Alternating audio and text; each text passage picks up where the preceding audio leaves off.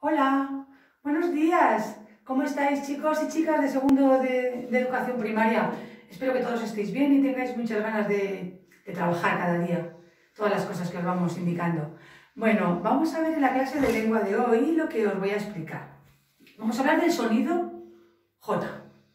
El sonido, cuando la J está con la A, siempre se escribe con J. Detrás, si está la U, también se escribe con J, ¿ves? El sonido JO se escribe siempre con J. Es decir, la norma ortográfica es que con las vocales O, U y A, el sonido J siempre es con J. Por ejemplo, vamos a estar atentos y vamos a pensar algunas palabras con ja. Mira, vamos a escribirlas aquí.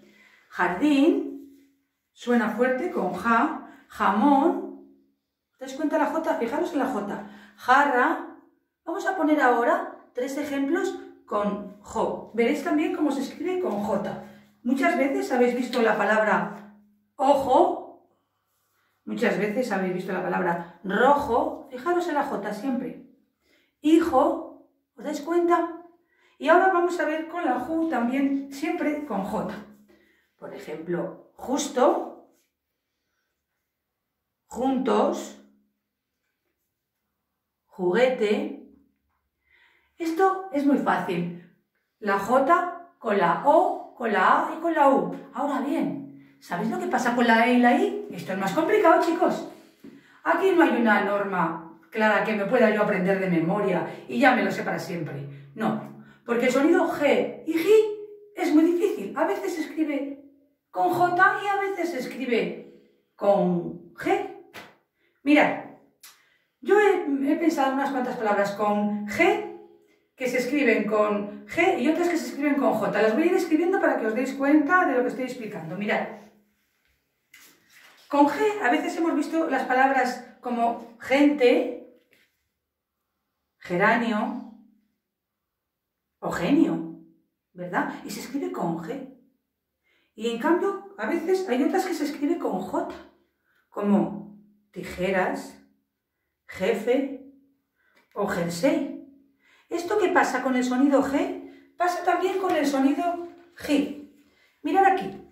G a veces se escribe con G y a veces se escribe con J. Mirad estas palabras, las vamos a leer todos juntos. Venga, miradlas bien y las leéis conmigo. Con G, gigante. ¿Qué pone aquí, chicos? Agitar, girasol.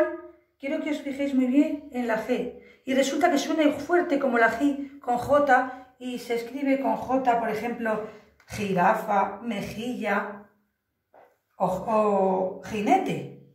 Esto es un poco difícil. ¿Cómo memorizamos todo esto? Mirad, eh, nosotros cuando leemos nos fijamos en las palabras y sin darnos cuenta nuestro cerebro las va acumulando ahí, ahí todas las palabras. Y entonces funciona nuestra memoria visual. ¿Qué quiero decir con esto? Que siempre nos tenemos que fijar muy bien cómo se escriben las palabras. Y luego, cuando dudamos a la hora de hacer un dictado o a la hora de hacer una frase, lo podemos escribir de las dos maneras y decidir, uy, pues a mí esta manera me resulta más familiar.